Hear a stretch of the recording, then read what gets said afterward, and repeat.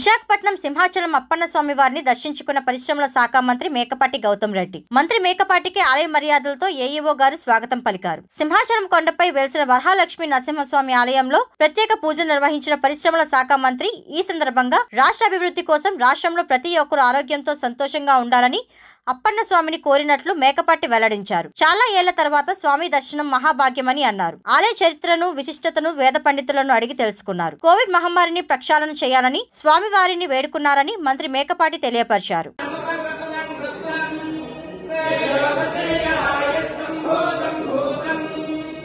Yeah.